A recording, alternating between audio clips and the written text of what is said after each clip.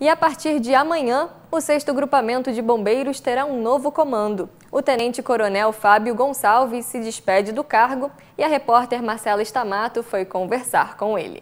Pois é, a gente está aqui hoje com o comandante do 6 Grupamento do Corpo de Bombeiros, Fábio Gonçalves, para ele fazer um pequeno balanço da sua jornada de dois anos aqui em Nova Friburgo. Comandante, fala para gente como vai ser agora, vai assumir um novo posto, qual vai ser o local e quem que vai assumir em seu lugar? É, eu estou aqui findando o meu, meu período, né? De dois em dois anos o Corpo de Bombeiro há troca de comandante. É natural isso, é, faz parte do sistema. É sadio para o sistema também, outras pessoas virem, sentirem o quartel. Então estou saindo daqui, estou indo para Teresópolis. Quem está vindo é o Tenente Coronel Pitaluga, que é, já é bastante tempo, está bastante tempo na área, está trabalhando atualmente na parte de defesa civil, é uma, tem um vasto conhecimento de, de, tanto da área operacional quanto da parte de defesa civil. Então ele vem para somar, né, o sistema continua, né, ninguém é insubstituível, né, o sistema vai continuar e com certeza ele vai fazer um comando exemplar aí. O senhor comandou e conteve diversos casos de incêndios aqui na cidade. Qual, o balanço que o senhor faz de todo esse trabalho? É, o trabalho de bombeiro é sempre bastante árduo, né? E claro que durante esses dois anos a gente teve alguns, alguns momentos bem, bem complicados.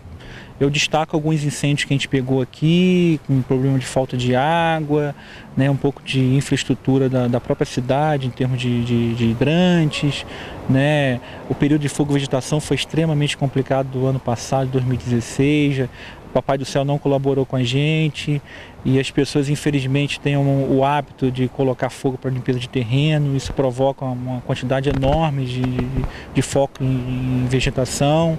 Mas né, tudo deu certo, a gente conseguiu, na verdade, né, com grande dificuldade, mas em vários momentos aqui eu quero aproveitar e agradecer aos entes públicos e particulares, privados, né? Você para poder manter um quartel desse tamanho, se você não tiver parcerias, você não consegue. Então, graças a Deus, durante esses dois anos eu tive muitos parceiros, muitas pessoas que nos ajudaram, tanto pessoas da, da área pública quanto da área particular, empresas, o comércio, em várias vezes a gente ia balancear um carro, aí dava um desconto, um cobrar, não, bombeiro, você não precisa não. Então, isso para mim é extremamente importante, esse apoio né, a população está nos abraçando. Né? E naturalmente o, o, retorno que a gente dá para a população, a gente tentar ao máximo possível, se exaurindo e fazendo aquilo que é o nosso papel, vidas alheias e riqueza salvar. Agora falando da população, como o senhor disse agora, alguma mensagem especial a todos os friburguenses que acompanharam o seu trabalho através do Zoom TV Jornal? Não, a mensagem que eu mando é que a gente está sempre junto, a gente está trabalha em prol. Eu até brinco com alguns bombeiros lá, comando, você está indo embora? Não, eu não estou indo embora não, vou continuar aqui na cidade, vou estar tá trabalhando numa área limítrofe com a área de Teresópolis e o comando é com vocês e para vocês e para o público externo.